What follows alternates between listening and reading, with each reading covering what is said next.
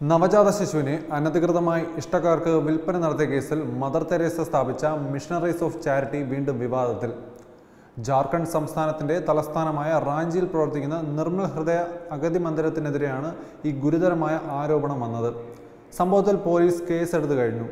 ബലാത്സംഗത്തിനിരയായ ഒരു യുവതി പ്രസവിച്ച കുഞ്ഞിനെ അഗതി മന്ദിരത്തിൽ ഏൽപ്പിച്ചിരുന്നു. എന്നാൽ അമ്മയുടെ അനുവാദമില്ലാതെ കുഞ്ഞിനെ മദർ തെരേസയുടെ സ്ഥാപനം വിൽപ്പന നടത്തിയെന്ന ഗുരുതര ആരോപണമാണ് ഇപ്പോൾ പുറത്തുവരുന്നത് സിസ്റ്റർ ജൊനീത എന്ന കന്യാസ്ത്രീയെ യുവതിയുടെ പരാതിയിൽ പേരെടുത്ത് പരാമർശിക്കുന്നുണ്ട്. എന്നാൽ യുവതിയുടെ പരാതി വ്യാജമാണെന്നാണ് മിഷണറീസ് ഓഫ് ചാരിറ്റിയുടെ നിലപാട്.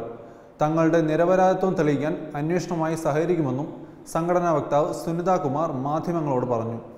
എന്നാൽ മദർ തെരേസയുടെ മിഷണറീസ് ഓഫ് ചാരിറ്റി ഇതാദ്യമായല്ല വിവാദങ്ങളിൽ പെടുന്നത്. കഴിഞ്ഞ വർഷവും ഇവർ മറ്റൊരു വിവാദത്തിൽ പെട്ടിരുന്നു. അഗതി മന്ദിരത്തിൽ നിന്നും ആൺകുഞ്ഞിനെ ദത്തെടുക്കാൻ നൽകാം എന്ന് പറഞ്ഞ് പണം തട്ടിയെടുത്തു എന്നായിരുന്നു കേസ്. ഈ സംഭവത്തിൽ അന്നത്തെ അഗതി മന്ദിരം നടത്തിപ്പുകാരിയായ സിസ്റ്റർ കൊനീലിയ ബക്സ അറസ്റ്റിലായിരുന്നു. ഇപ്പോൾ അവർ ജാമ്യത്തിൽ പുറത്തിറങ്ങിയതിന് തൊട്ടു പിന്നാലെയാണ് അടുത്ത വിവാദം കത്തിപ്പടരുന്നത്. രോഗശുശ്രൂഷ എന്നും പാവങ്ങളെ സഹായിക്കാനും എന്ന പേരിൽ പതിനായിരങ്ങളെ മതം മാറ്റത്തിന് വിധേയരാക്കിയവർ ആണ് മദർ തെരേസയുടെ മിഷണറീസ് ഓഫ് ചാരിറ്റി എന്നത് ഇന്ന് ഏവർക്കും അറിയാവുന്ന കാര്യമാണ്.